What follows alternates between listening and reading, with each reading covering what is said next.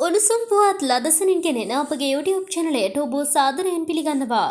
මෙන්න දැන් ලැබුණු තවත් උණුසුම් පුවතක්. පේදුරුතුඩුව බල්ලිපුරම් ප්‍රදේශයේ වෙල්ලායක මත්පැන් පානය කරමින් සිටි තරුණයන් පිරිසක් අතර සිටි දෙදෙනෙකු දියගැලීමෙන් මියගොස් තිබෙනවා. පොලිසිය ප්‍රකාශ කළේ තරුණයන් හය දෙනෙකු මත්පැන් පානය කරමින් සිටියේදී එක් තරුණයෙකු එය ඇසළ තිබූ ලිඳට වැටීම හේතුවෙන් ඔහු බේරා ගැනීම සඳහා තවත් තරුණයෙකු ලිඳට පැන ඇති බවයි. කෙසේ වෙතත් වල්ලිපුරම් ප්‍රදේශයේම පදිංචි 24 හැවිරිදි තරුණයන් දෙදෙනාම වෙල්ලායේ තිබූ ලිඳෙන් ගොඩටගෙන රෝහල්ගත කිරීමෙන් පසු මියගොස් තිබෙනවා. මෙවැනි උණුසුම් පුවත් ලදසිරින් දැන ගැනීමට අපගේ YouTube චැනලය සබස්ක්‍රයිබ් කර බෙල් අයිකනේ ක්‍රියාත්මක කරන්න.